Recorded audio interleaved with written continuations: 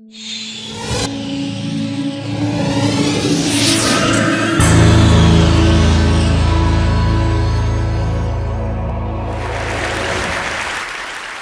live in difficult and challenging economic times, of course, and one of the first um, victims of difficult economic times, I think, is well, public spending of any kind. But certainly in the firing line at the moment is public spending for science, and particularly curiosity led science and exploration.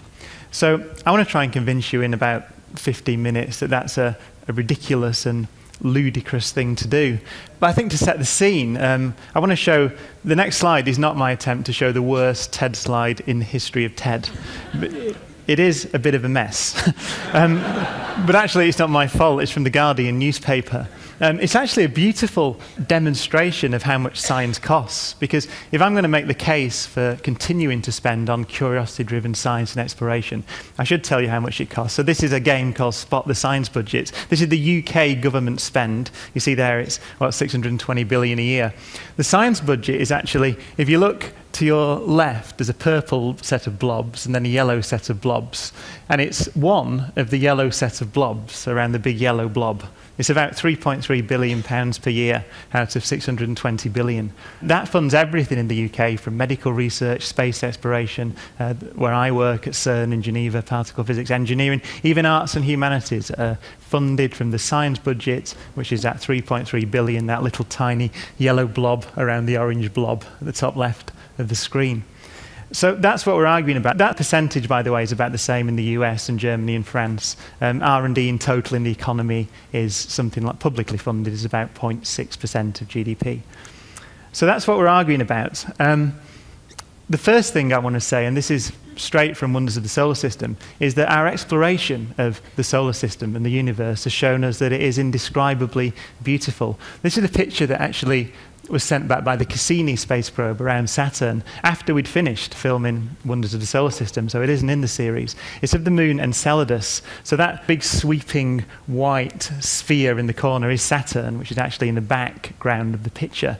And that crescent there is the moon Enceladus, which is about as big as the British Isles. It's about 500 kilometers in diameter, so a tiny moon what's fascinating and beautiful, this is an unprocessed picture, by the way, I should say, just black and white, straight from Saturnian orbits. What's beautiful is you, you can probably see on the limb there some faint uh, sort of wisps of almost smoke uh, rising up from the limb. Um, this is how we visualize that in Wonders of the Solar System. It's a beautiful graphic. What we found out were that those faint wisps are actually fountains of ice rising up from the surface of this tiny moon. Now, that's fascinating and beautiful in itself, but we think that the mechanism for powering those fountains requires there to be lakes of liquid water beneath the surface of this moon. And what's important about that is that on our planet, on Earth, wherever we find liquid water, we find life. So to find strong evidence of liquid, pools of liquid beneath the surface of a moon, 750 million miles away from the Earth, is really quite astounding. So, what we're saying essentially is maybe that's a habitat for life in the solar system. Well, let me just say that was a graphic. I just want to show this picture. That's one more picture of Enceladus. This is when Cassini flew beneath Enceladus. So it made a very low pass, just a few hundred kilometers above the surface, and so, to this again a real picture of the ice fountains rising up into space. Absolutely beautiful. But that's not the prime candidate for life in the solar system. That's probably this place, which is a moon of Jupiter, Europa. And again, we had to fly to the Jovian system to get any sense that these, this moon, as most moons, was anything other than a dead ball of rock. It's actually an ice moon. So what you're looking at is the, the surface of the moon Europa, which is a thick sheet of ice, probably 100 kilometers thick.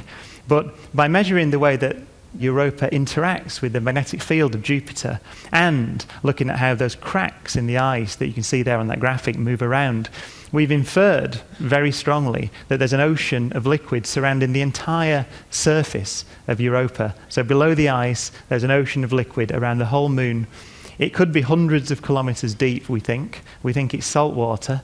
And that would mean that there's more, there's more water on that moon of Jupiter than there is in all the oceans of the Earth combined. So that place, a little moon around Jupiter, is probably the prime candidate for finding life on a moon or a body outside the Earth that we know of. Tremendous and beautiful discovery. Our exploration of the solar system has taught us that the solar system is beautiful. It may also have pointed the way to answering one of the most profound questions that you can possibly ask, which is that are we alone in the universe?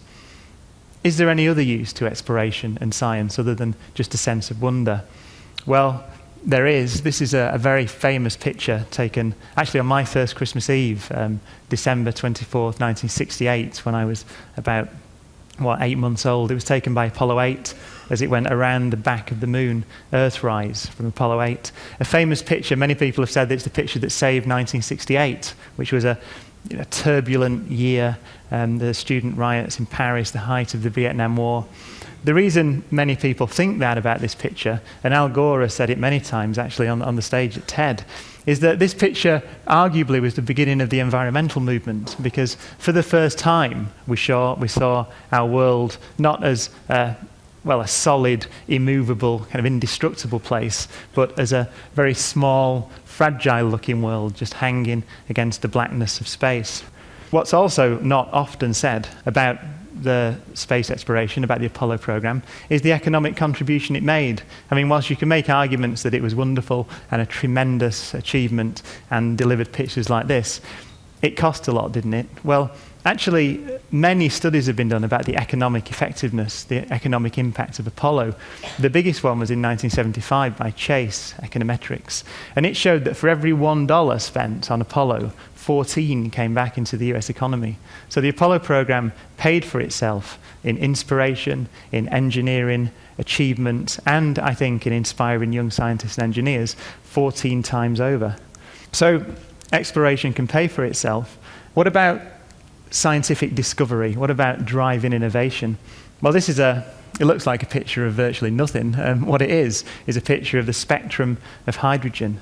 See, back in the 1880s, 1890s, um, many scientists, many observers looked at the light given off from atoms, and they saw strange pictures like this. What you're seeing when you put it through a prism is that you heat hydrogen up, and it doesn't just glow like a, like a white light. It just emits light at particular colours a red one, a light blue one, some dark blue ones. Now, that led to an understanding of atomic structure because the way that's explained is that atoms are a single nucleus with electrons going around them, and the electrons can only be in particular places. And when they jump up to the next place they can be and fall back down again, they emit light of particular colours. And so the fact that atoms, when you heat them up, only emit light of very specific colours was the, one of the key drivers that led to the development of the quantum theory, the theory of the structure of atoms. I just wanted to show this picture because this is remarkable. This is actually a picture of the spectrum of the sun. And now this is a picture of atoms in the sun's atmosphere absorbing light. And again, they only absorb light of particular colours when electrons jump up and fall down, jump up and fall down. But look at the number of black lines in that spectrum. And the element helium was discovered just by staring at the light from the sun, because some of those black lines were found that corresponded to no known element. And that's why helium is called helium. It's called Helios. Helios from the sun. Now, that sounds esoteric, and indeed it was an esoteric pursuit. But the quantum theory quickly led to an understanding of the behaviors of electrons in materials, like silicon, for example. The way that silicon behaves, the fact that you can build transistors, is a purely quantum phenomena. So without that curiosity driven understanding of the structure of atoms, which led to this rather esoteric theory, quantum mechanics, then we wouldn't have transistors, we wouldn't have silicon chips, we wouldn't have pretty much the basis of our modern economy. But there's one more, I think, wonderful twist to that tale. In the wonders of the solar system, we kept emphasizing the laws of physics are universal. It's one of the most incredible things about the physics and the understanding of nature that you get on Earth is you can transport it not only to the planets but to the most distant stars and galaxies. And one of the astonishing predictions of quantum mechanics just by looking at the structure of atoms, the same theory that describes transistors, is that there can be no stars in the universe that have reached the end of their life that are bigger than quite specifically 1.4 times the mass of the sun.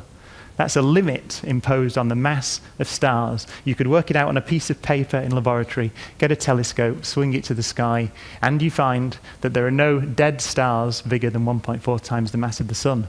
That's quite incredible prediction. What happens when you have a star that's right on the edge of that mass? Well, this is a picture of it. This is a picture of a galaxy, a common or garden galaxy with what 100 billion stars like our sun in it. It's just one of billions of galaxies in the universe. There are a billion stars in the galactic core, which is why it's shining out so brightly. This is about 50 million light years away, so one of our neighboring galaxies. But that bright star there is actually one of the stars in the galaxy. Right? So that star is also 50 million light years away. It's part of that galaxy, and it's shining as brightly as the center of the galaxy with, a, with what, a billion suns in it. That's a type 1a supernova explosion.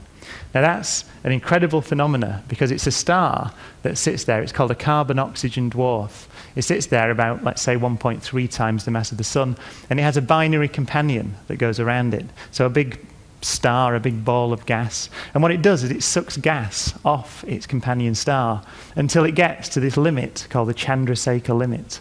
And then it explodes. And it explodes and it shines as brightly as a billion suns for about two weeks and releases not only energy, but a huge amount of well, chemical elements into the universe. In fact, that one is a carbon oxygen dwarf. Now, there was no carbon and oxygen in the universe at the Big Bang and there was no carbon and oxygen in the universe throughout the first generation of stars. It was made in stars like that, locked away, and then returned to the universe in explosions like that in order to recondense into planets, stars, new solar systems, and indeed people like us. I think that's a remarkable demonstration of the power and beauty and universality of the laws of physics because we understand that process because we understand the structure of, structure of atoms here on Earth. This is a beautiful quote that I found. We're talking about serendipity there from Alexander Fleming. When I woke up just after dawn on September 28, 1928, I certainly didn't plan to revolutionize all medicine by discovering the world's first antibiotic. Now, the explorers of the world of the atom did not intend to invent the transistor, and they certainly didn't intend to describe the mechanics of supernova explosions, which eventually told us where the building blocks of life were synthesized in the universe. So I think science can be, the ser- serendipity is important. It can be beautiful. It can reveal quite astonishing things. It can also, I think, finally um, reveal the most profound ideas to us about our place in the universe and really the value of our home planet. This is a spectacular picture of our home planet. Now, it doesn't look like our home planet. It looks like Saturn because, of course, it is. It was taken by the Cassini space probe. But it's a famous picture not because of the beauty and majesty of Saturn's rings, but actually because of a tiny, faint blob just hanging underneath one of the rings. And if I blow it up there, you see it. It looks like a moon, but in fact, it's a picture of Earth. It was a picture of Earth captured in that frame of Saturn. That's our planet from 750 million miles away. I think the Earth has got a strange property that the further away you get from it, the more beautiful it seems. But that is not the most distant or most famous picture of our planet. It was taken by this thing, which is called the Voyager spacecraft. And that's a, a picture of me in front of it for um, scale. Voyager is a tiny machine. It's currently 10 billion miles away from Earth, transmitting with that dish with a power of 20 watts, and we're still in contact with it. But it visited Jupiter, Saturn, Uranus, and Neptune. And after it had visited all four of those planets, Carl Sagan, who's one of my great heroes, had the, the wonderful idea of turning Voyager around and taking a picture of every planet it had visited. And it took this picture of Earth. Now, it's very hard to see the Earth there. It's called a pale blue dot picture. But Earth is suspended in that red shaft of light. That's Earth from four billion miles away. And I'd like to read you what Sagan wrote about it just to, to finish, because I cannot say words as beautiful as this to describe what he saw in that picture that he had taken. He said, Consider again that dot. That's here, that's home, that's us. On it, every, everyone you love, everyone you know, everyone you've ever heard of, every human being who ever was lived out their lives. The aggregates of joy and suffering, thousands of confident religions, ideologies, and economic doctrines, every hunter and forager, every hero and coward, every creator and destroyer of civilization, every king and peasant, every young couple in love, every mother and father, hopeful child, inventor and explorer, every teacher of morals, every corrupt politician, every superstar, every supreme leader, every saint and sinner in the history of our species lived there on a mote of dust suspended in a sunbeam. It's been said that astronomy is a humbling and character building experience. There is perhaps no better demonstration of the folly of human conceits than this distant image of our tiny world. To me, it underscores our responsibility to deal more kindly with one another and to preserve and cherish the pale blue dot, the only home we've ever known. Beautiful words about the power of science and exploration the argument has always been made, and it will always be made, that we know enough about the universe. You could have made it in the 1920s, you wouldn't have had penicillin. You could have made it in the 1890s, you wouldn't have had the transistor. And it's made today, in these difficult economic times. Surely we know enough. We don't need to discover anything else about our universe. Let me leave the last words to someone who's rapidly becoming a hero of mine, Humphrey Davy, who did his science at the turn of the 19th century. He was clearly under assault all the time. We know enough at the turn of the 19th century. Just exploit it, just build things. He said this He said, Nothing is more fatal to the progress of the human mind than to presume that our views of science are ultimate, that our triumphs are complete, that there are no mysteries in nature, and that there are no new worlds to conquer. Thank you.